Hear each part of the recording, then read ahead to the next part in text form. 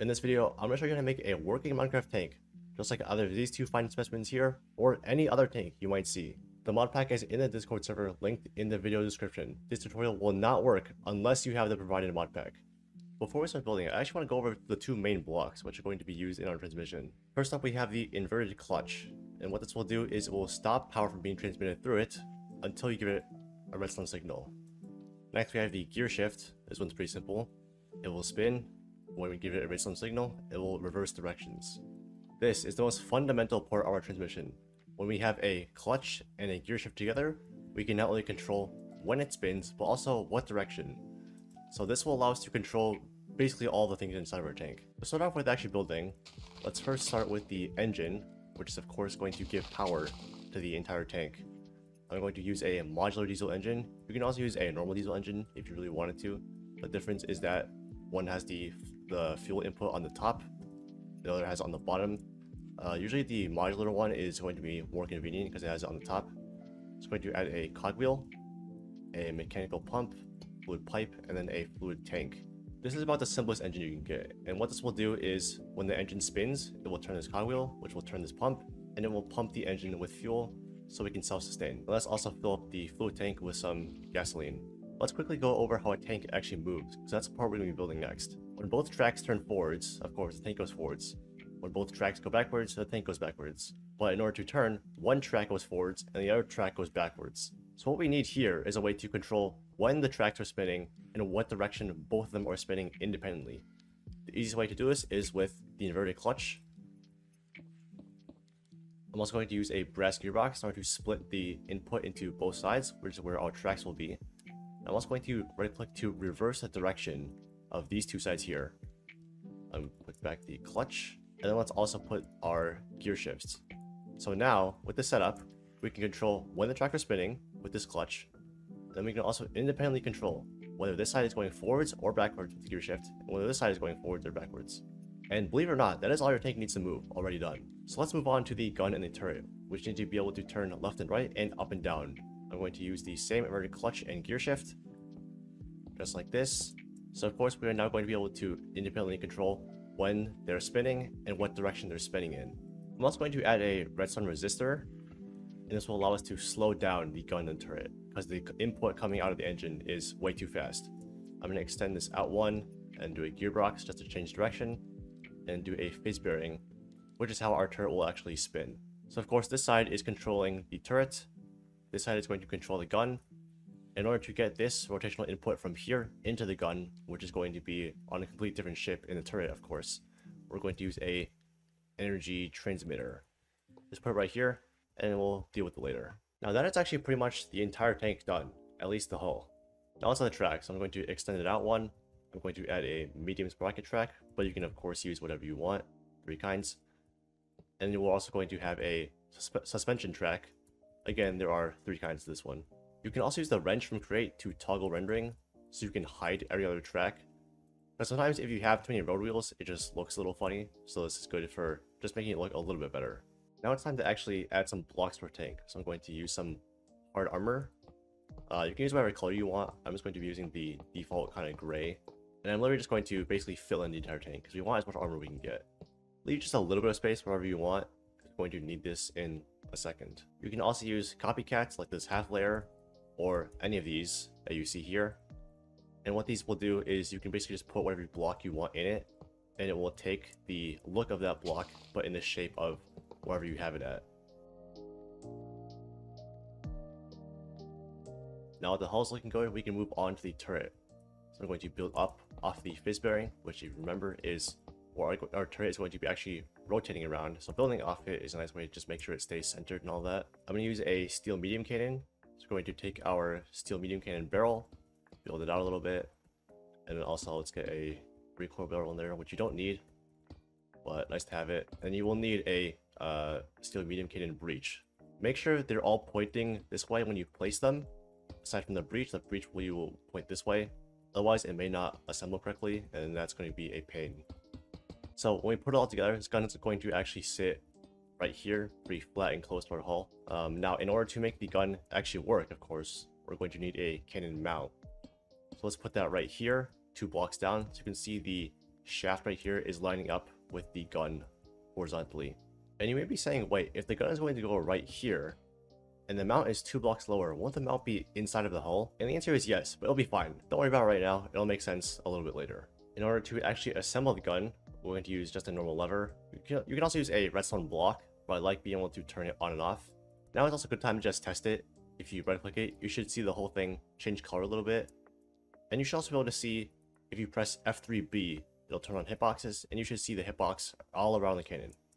Let's leave that unassembled for now. Let's work on building up around the turret a little bit.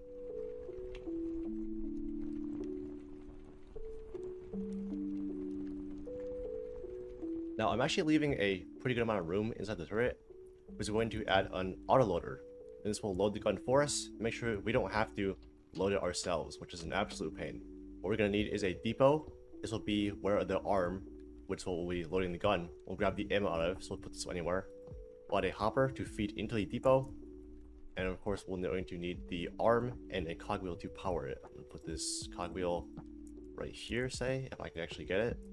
I'm going to hold the arm in my hand, right click the depot, right click the mount of the cannon, and I'm going to right click right here next to the cogwheel so we can actually get powered.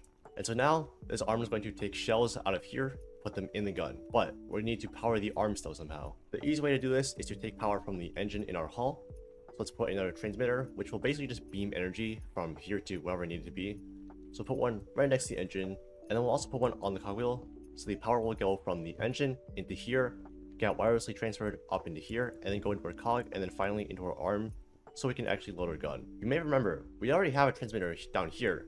This is going to turn our gun up and down. So in order to differentiate between the loader and the gun, all we need to do is just name our transmitter. So we're going to name this one loader, let's say. Name this one loader, exactly the same.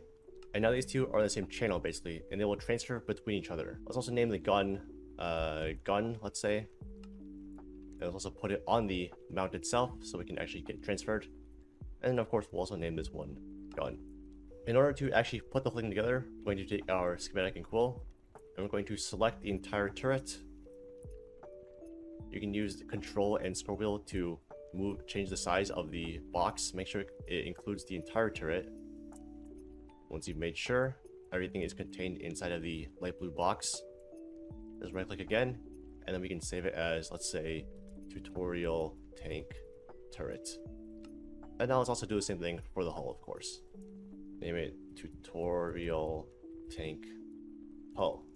Now take any block, place it.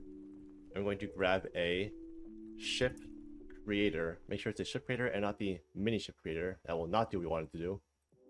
Take this stick, right click, and you'll see in the bottom left, shipified. Let's take our schematic and place it right on top. An easy way to tell if you're actually placing it on the ship or not is to just place it. Don't actually place the blocks yet, but just place the, the schematic. And now you'll see if we turn it off center with the gravitron, the schematic will follow it. And so clearly this schematic is not on the block grid of the world, it's on this ship. So let's place it now. Let's actually start the engine first and make sure the tracks work before we put the turret on. I'm going to break this block real quick. We'll put on the engine and reverse the direction. And the engine should start right up. I reverse the direction because if you place it in the reverse direction, the engine will break because this motor is spinning the opposite direction as the engine wants to spin. So no matter what you do, it'll break. In order to get around this, we just need to place the motor and then quickly reverse the direction so it spins the same way as the engine. You may have realized we don't actually have a way to control the clutch and gear shift and everything that's back here in order to make the tank move. How are we going to control it? The answer is using cables. This will allow us to take our controller and directly control the blocks inside of our tank without the need for links or anything. There are two kinds of controllers. There's the normal linked and the tweak controller. The tweak one is a little bit more complicated, but it's definitely worth it for controlling your tank. I'm going to show both though. Starting off with the link controller, we're going to take a link controller hub place it anywhere inside of our tank, and also grab a cable.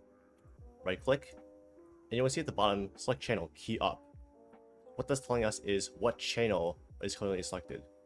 So if we scroll, you'll see it changes. Since we're currently editing key up, which is just up or forward, when we press forward, we want to go forward. So we're just going to adjust the clutch. If you remember, we'll make both tracks go. without any changes in direction. If you scroll, it'll go to key down, so we'll do the gear shift again, or the clutch again rather. So both tracks do spin, but now we want to reverse the direction of both tracks so we can actually go backwards. For key left, we want the tracks to spin again, but we also want to reverse one of the tracks. So for key left, we want the right track to go forward, the left track to go backwards, so let's reverse the left track. And then key right will be just the opposite. If you're using a tweak controller, the benefit being you can control it using both WASD, as you can see here, but also arrow keys, so you can control both the turret and the hull at the same time. With the link controller, you only have four inputs, technically six, so you'll only be able to control either the hull or the turret, not both at the same time. Using the tweak controller is not that much more complicated. It's definitely worth learning. All you need is a tweak controller hub. I'm just putting it here. And then you'll see axis left X, axis left X minus, axis left Y plus. And what this corresponds to is the channels, as you can see.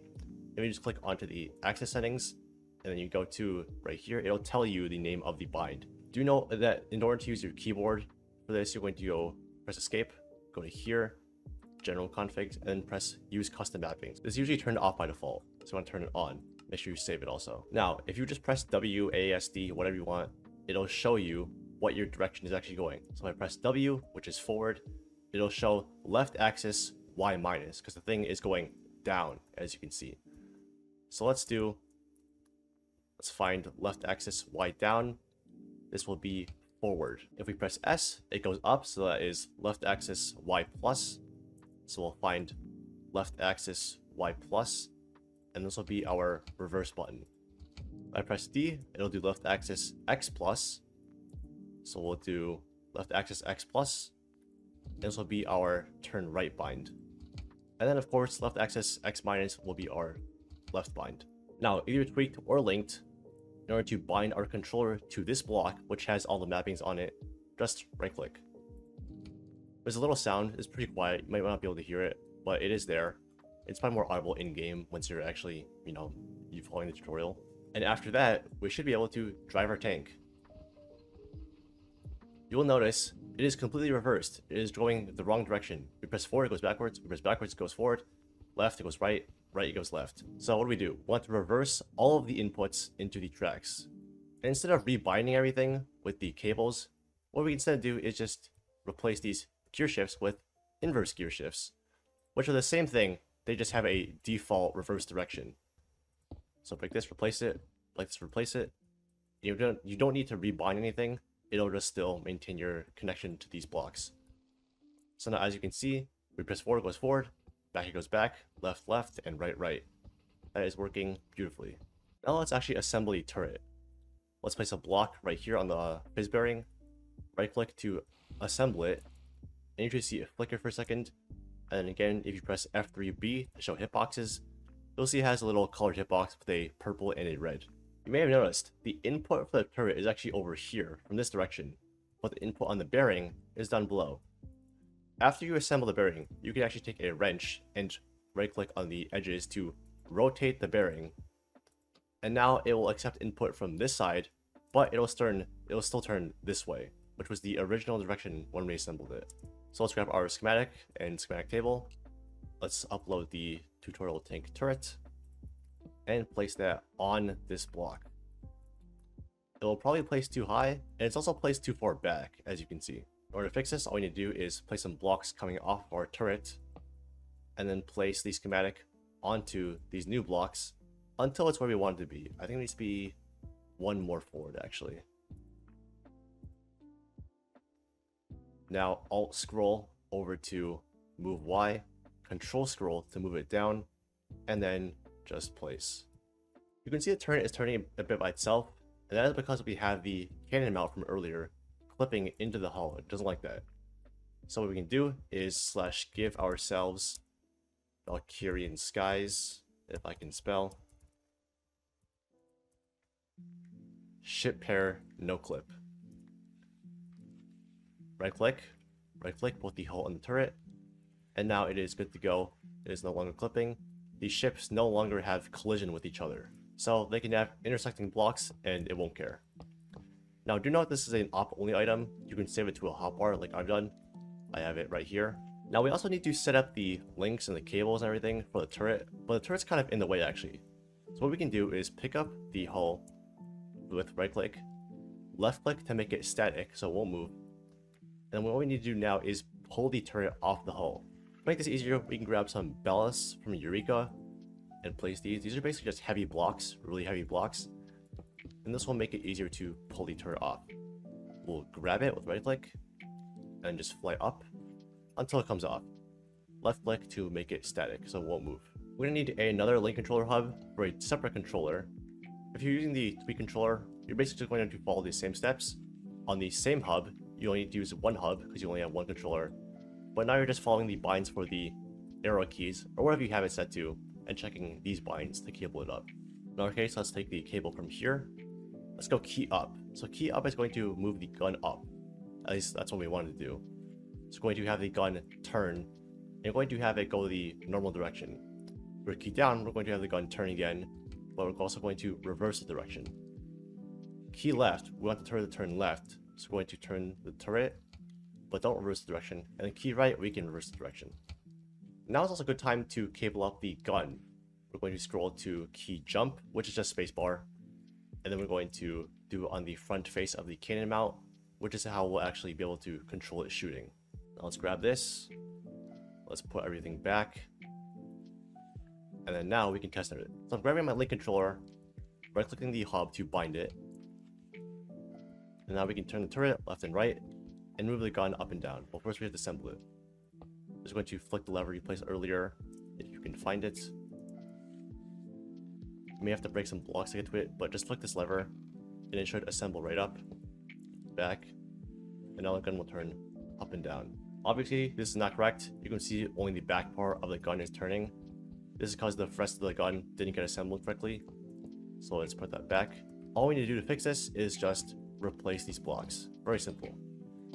Let's reassemble that one more time. And now the gun will turn up and down. Now you will notice, again, not only is it the wrong direction, you can see I'm pressing left, but it's turning right. I'm pressing up, but it's going down. It's also way, way too fast. But we already have something in place to slow it down. We have these resistors here. All we need to do is give them a small redstone signal, and it will slow them down based on how much redstone we give it. I'll take my analog lever and flick it, and however much it's flicked, that is how much redstone power it will give. So I'll go all the way, and then shift click to minus one. And also to inverse it, we can replace the gear shifts with inverted gear shifts. So now the turret and gun should work beautifully. Much slower, much more manageable pace. That is looking great. Now, for a loader, let's actually give it some ammo, and then we can test it. Grab the ammo from the Creative tab. Do not search for, say, medium cannon shell. They'll all pop up here, but these will not work. I'll show you right now. We'll take one, we'll put it here. Open the breech, and then it'll start loading. When you fire it... Okay, I lied. In previous versions, it would not work if you grabbed it from the search bar, but it works now. Just grab your ammo from anywhere. Put it all in the hopper, it'll go to the depot. Make sure your gun is open. A lot of times when your gun's not loading, it's because it's closed. So if I, if I close it, the arm won't touch it. Once I open it, it'll load it for us. And now the gun is actually working. Now, how do we save this? Because I don't know about you, but I don't want to do all the setup every single time.